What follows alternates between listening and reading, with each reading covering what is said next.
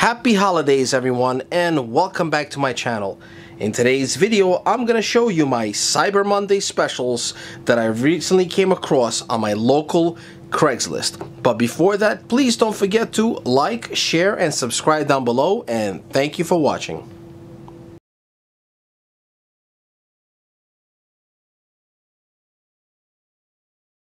Alright, so the first item on this list is the Acer VG270U 27 inch 1440p 75 hertz FreeSync with built-in speakers gaming monitor. Now this is a fantastic deal as I got this for only 40 US dollars. That's right, 40. Now originally it was listed for 50. I was able to negotiate and knock off 20%. And this proves that Craigslist is still the best place to find excellent deals on some used electronics.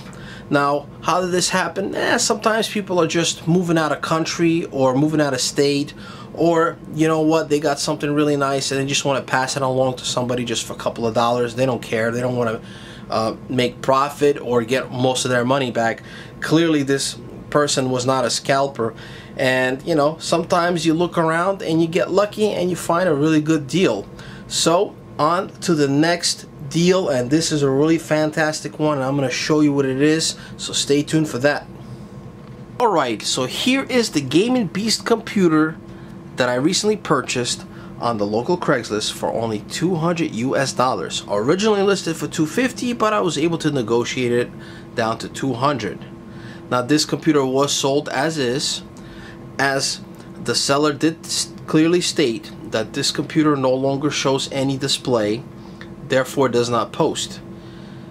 But the good news is it does fully power on and everything seems like it's running. So I suspect it could be a very easy fix. Either the RAM, maybe the motherboard, or one of the graphics cards went bad. So I'm to take everything out, look around, clean everything up, and see what I could do. Now let me go over these parts. Now, for today's standards, this computer may sound a bit old for everyone, but it still has a lot of power, and here is why. First, I'm going to start off with the case. This is a really nice case, which is Phanteks Enthoo Primo White. Now, this thing is still a very expensive case, still today, and I think it really looks nice. They really don't make solid cases like this anymore. Now, let's take a closer look inside for the main prize. What we have here is two MSI GTX 980s running an SLI. Even if I can get one of them to work, I'll be really happy as these cards are still pretty powerful. They could still handle a lot of the, a lot of the newer modern games.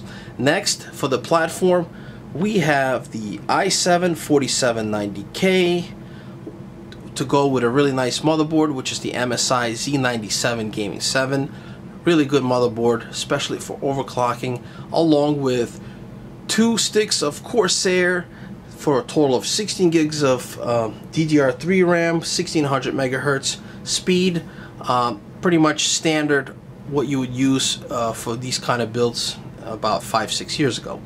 For cooling we have a Corsair H100i definitely a good cooler, um, especially for a system like this. It does its job. I'm very happy with that. And also for the power supply, this is a really good one here, which is the EVGA Supernova G2 1000 watt, uh, believe fully modular, uh, gold rated power supply and that thing is worth a lot of money too as well uh, definitely enough for a system like this uh, plus it has a bunch of extra fans so I'm going to take a look. And of course the hard drives were taken out. I have plenty extras to throw in and see what happens. So pretty much all there is left to do is take this thing apart clean it up and see what happens. So without further ado let me get to that and I'll see you soon Alright, so just as I expected, it was a RAM issue and I was able to get this computer running just in few minutes. So I took out both of the sticks, put in one at a time, and got into BIOS and finally I was able to see both the RAM sticks working, showing the 16 gigs of RAM which it originally came with. And just like that, I got this thing running. Now, originally, I was going to go ahead and take this thing fully apart, clean it up, maybe change up the fans, change up the look a little bit, but I kept it this way, and maybe for another video, I'll like to do a nice build with using this case. We'll see what happens. Uh, but other than that, this thing performs really good and just the way it is. Few things I've changed, of course. I added a hard drive, uh, booted a fre uh, fresh uh, Windows in there, threw in a couple of games to give it a nice test. Uh, also, I did keep the original thermal paste on the water cooler as the temperatures are good. And I did overclock this to 4.5 gigahertz, which is an easy overclock for i7 4790K out the box without messing with any voltage.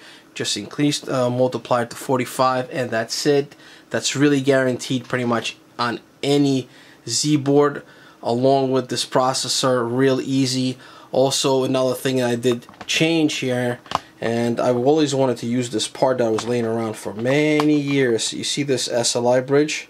This MSI uh, which really matches with these two nice 980s here and once it's plugged in just as both the cards the LED is lit up and it looks real nice and then the other thing I did change the RAM sticks to a higher frequency. These are 2133 megahertz uh, running in dual channel four sticks of four. Uh, really does help with the performance especially in, in gaming with a higher frequency. I recommend anything any system that's second gen or higher Intel with a Z board, you want to go with 2133 or higher, perhaps to 2400 megahertz if you could get your hands on them. Um, the higher the frequency on the RAM, uh, the higher FPS you're going to get. And when you put all this together with a good power supply, you're really going to get a lot of juice out of the older systems. And you've seen that a lot in some of my previous videos. So do consider subscribing if you're new and check out I have tons of videos, hundreds, hundreds. And I'm sure you know that I'm a big fan of SLI and I was able to get really good performance.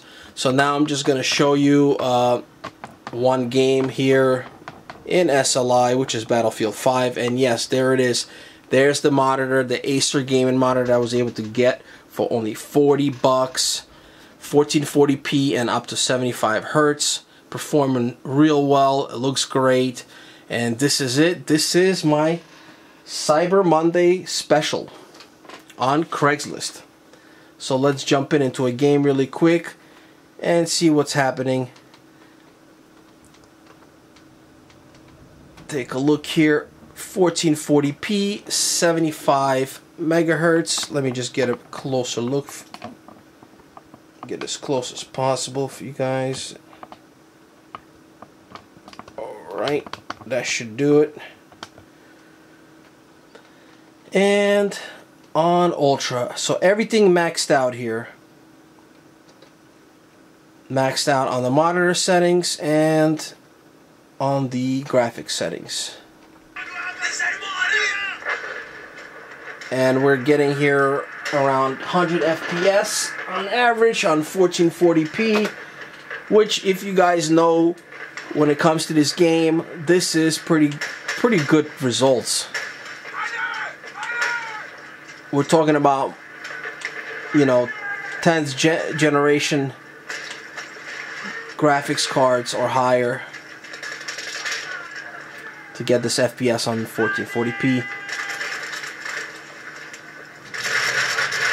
Beautiful smooth performance.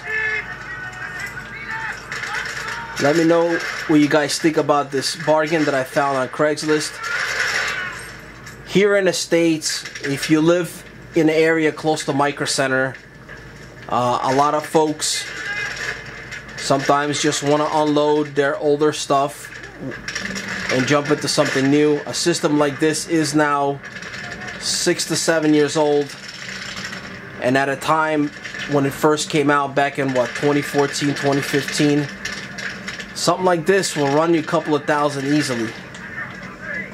And now to scoop it up for 200 and another 40 for this monitor, which this model was a surprise. That was a separate bargain altogether and just luckily came in pretty much within a day.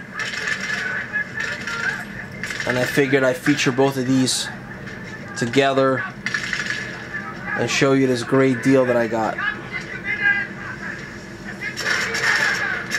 So that's it guys.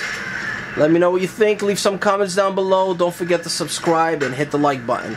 And I'll see you guys in the next video. Goodbye.